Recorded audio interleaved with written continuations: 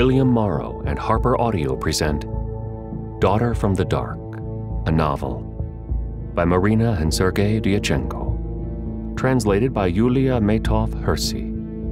Performed by Adam Verner.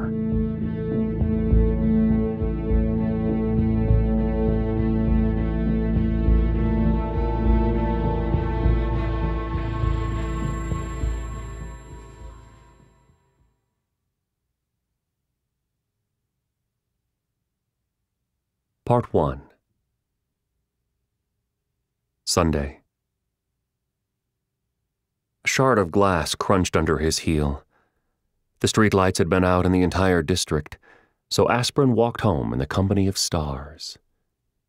He could have picked a long and reasonably safe route along the main street, but Aspirin was a strapping young man and had no fear of nocturnal thugs. And while the shortcut led him through foul smelling alleys, Aspirin had developed a rather philosophical attitude toward the environment. In a matter of minutes, the heavy iron door of his building would shut behind him, and all this would be closed out. Vasya, the concierge, knew that on Sundays Aspirin came back around 1.30, not 3 or 4 in the morning as usual, and there was even a chance Vasya would open the door for him. Aspirin switched on a pocket flashlight before turning into a dark walkway. Almost immediately, he saw the girl and froze on the spot. At first, he thought the girl was drawn on the wall.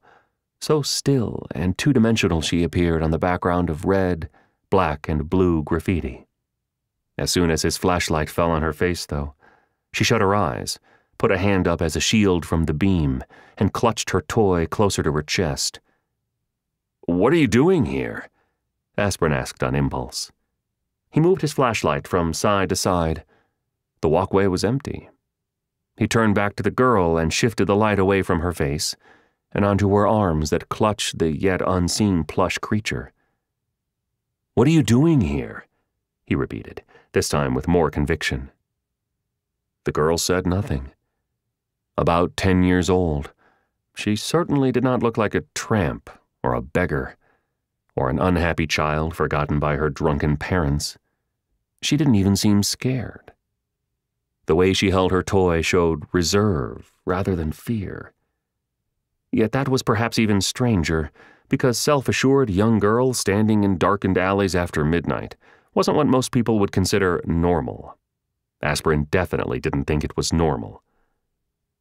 Did you have a fight with your folks? he suggested, immediately feeling like a complete idiot, although he couldn't place why. But as the girl remained silent, he felt that was certainly adding to his disquiet. Are you just going to stand here like this? Aspirin was growing more annoyed by the minute. Waiting for the boogeyman to come and stick a knife into your heart? Where are your parents? The girl looked surprised at that. It was unclear what had sparked her interest the perspective of meeting a boogeyman, or Aspirin's interest in her lineage. At least he had her attention. Fine, let's go, Aspirin said, stifling his impulse to smack the girl upside the head. Let's go. I'll take you to the police station. Let them deal with you and your folks. Idiots. Can't watch their own kids. Aspirin was afraid the girl would start crying, shifting the situation from ridiculous to critical. If that did happen, though, it would only be for a few moments because in reality, he was planning to hand the child to his concierge and be done with it. Vasya was a kind man who occupied his free time with finding homes for stray puppies and kittens. Last winter, he'd even found an arrangement for some street waif. He would be the perfect person to call the police. The girl watched Aspirin with clear, intent, and perfectly adult eyes. Are you frightened? she asked finally. Me? He was initially incredulous. But at that very moment, he realized the girl was right. He was frightened. Perhaps of the responsibility that fell on him from out of nowhere. Perhaps of something else. It may have been the girl's shadow over the ugly graffiti. What are you doing here all alone? he asked, his voice a touch calmer. I am not alone. I am here with Mishutka. She finally loosened her grip, and Aspirin saw a light brown teddy bear with plastic eyes. Well, if you are with Mishutka, that's a totally different matter, Aspirin allowed. Where do you live? The girl shrugged. Children should not be out on the street at such a late hour. The little girl looked at him skeptically, and he didn't blame her. Even to himself, Aspirin sounded like an old bore. It's too dangerous. Yes, the girl agreed. He's looking for me. He came for me. Who? The girl did not respond. Aspirin quickly scrolled through a few possible scenarios. Parents in a fight, possibly divorced. Or the mother is an alcoholic, and the father got custody. Not a common situation, but it was a possibility. In any case, the father came for her and she didn't want to go with him. The usual scenario domestic squabbles, preteen issues. The reasons didn't concern him. All right, he said firmly. Either you come with me, or you can stay here. So what'll it be? The girl watched him silently, her eyes round and blue like those of a child on a greeting card. I am going, Aspirin said with relief. Family problems are not my forte. He pointed his flashlight onto the cracked pavement and moved toward the street. Stars glimmered above his head. How wonderful that I don't have children, Aspirin thought, looking up at the clear summer sky. How wonderful that I didn't marry Lucy back then, he thought, turning into a courtyard. How wonderful that I. His reverie was cut short. A group of teenagers, drunk or high or both, sat underneath a dying linden tree in the corner of a playground. Of course, it was a playground, a perfect place for them to congregate. He actually wasn't sure they were high. He wasn't even sure they were teenagers. It was hard to see in the dark, hard to count the glowing ends of their cigarettes, hard to ask for their IDs. It wasn't hard to know he wanted nothing to do with them. Hey, you! Come here! It was a young voice, but insistent. It sounded like it was used to getting what it wanted, despite having nothing to back up that bravado. Aspirin moved his flashlight over the group. About half a dozen kids, one girl, and what's worse, one pit bull. Drop your flashlight, shithead! Aspirin heard a low growl.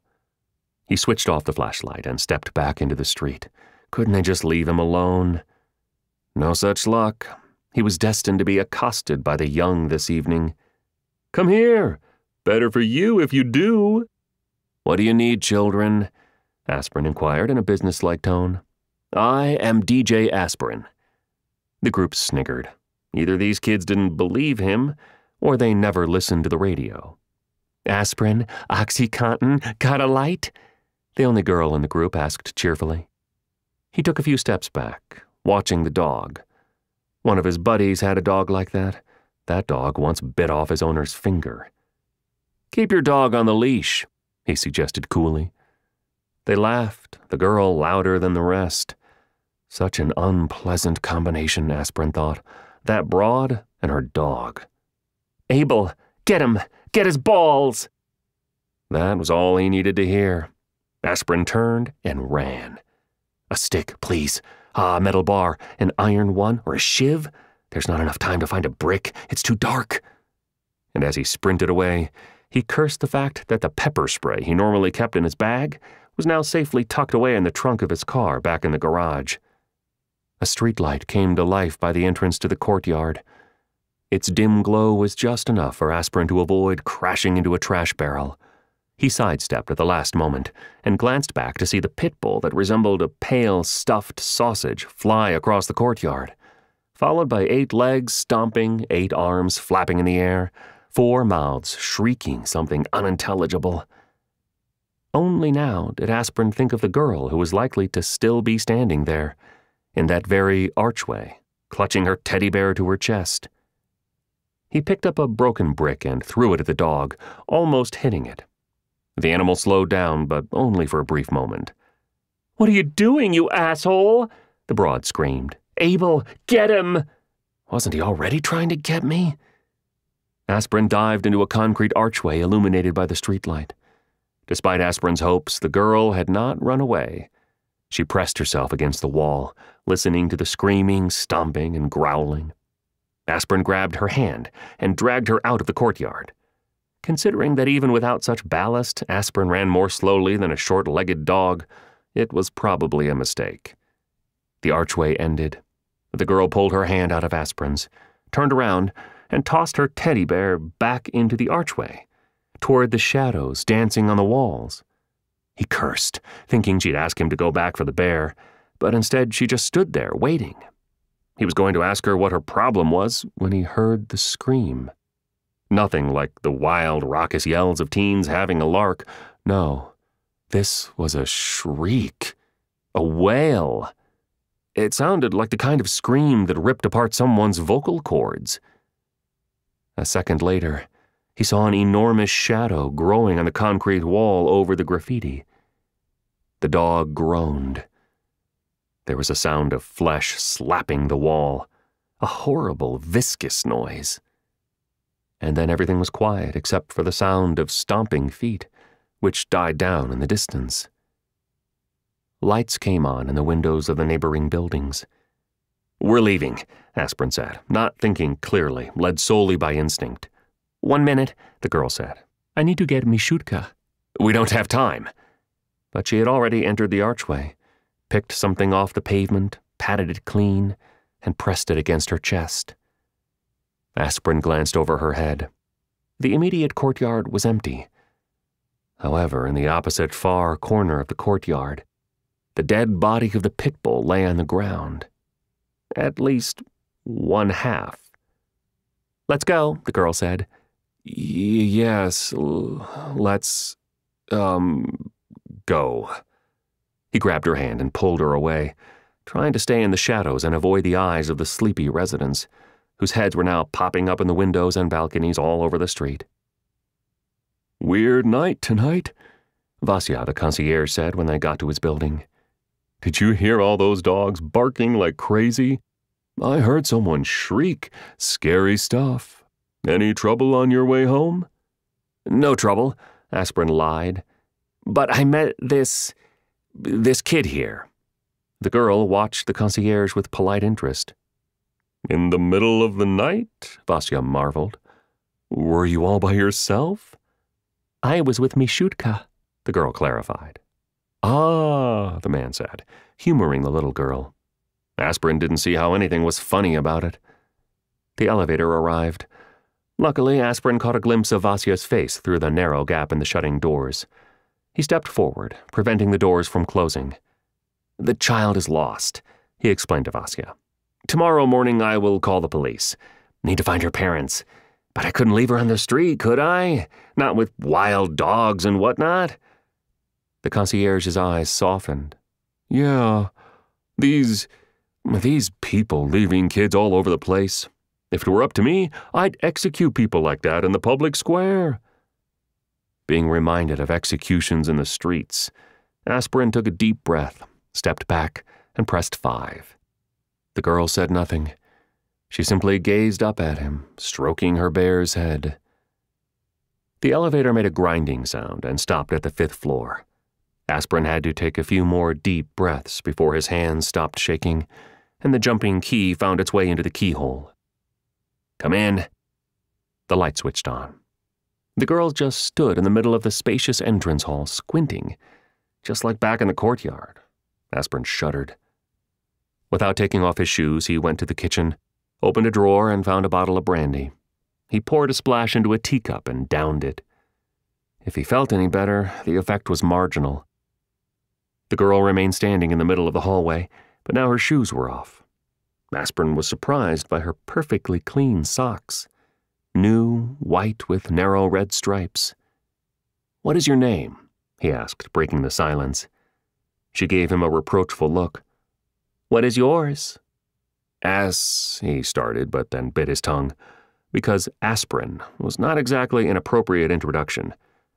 From what he'd gleaned of her attitude, he was pretty sure she wouldn't be impressed by his alter ego. I'm Alexei. He walked over to the hall closet, rummaged around, and pulled out something. Here, put these on. She stuffed her feet into a pair of women's slippers, about five sizes bigger than her own. Are you hungry? He asked coolly and nearly howled from frustration with this situation. It was just so unnatural, so false. All this nonsense slippers, kitchen, pelmeni, tea. Where the hell did this girl come from? And what was he supposed to do with her?